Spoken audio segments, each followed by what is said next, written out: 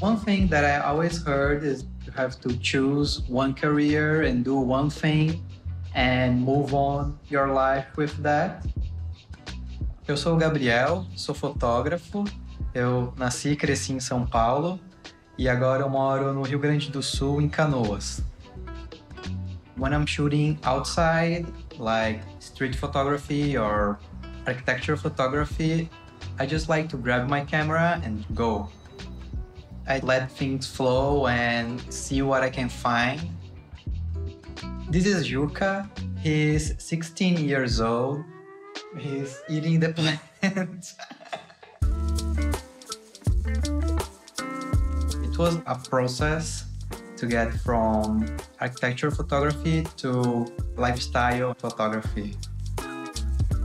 One thing that I like about shooting at home that I can really take my time and think things over to have exactly what I was expecting to have. I always like to do a test before. I always put the lights in the right place and see how things are going to work. And we try many things, and not all the things that I try work. In this case, I thought, what would happen if I make a photo shoot with a very monochromatic backdrop like something that would flatter the skin tones of the models, respecting their own original color.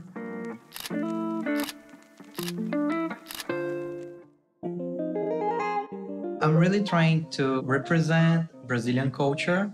I like to shoot in groups to show people getting together and having fun. It always got really dynamic photos, even though it's much harder to control Adobe Stock reached me to talk about some projects and images that they want to do for Latin market and Brazilian market. I was really excited of shooting this content for them. They care about the voice of the artists and they really want to showcase what we are doing and how we see the world. I'm also really enjoying making videos, kind of mix and match a bit of both.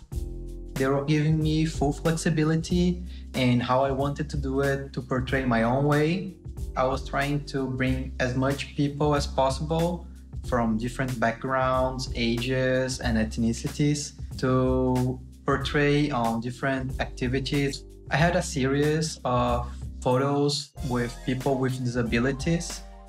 I realized how little I knew about it. I think Adobe Stock is really making an effort to change what we see on the stock libraries. Some people can never leave the camera out of their hands, but I just can't, you know. I, I like to enjoy with my own eyes. I love photography, but for me it was very important to acknowledge that I have multiple interests and not to be closed by just one choice. Really hear that gut feeling and go for it. You won't regret it.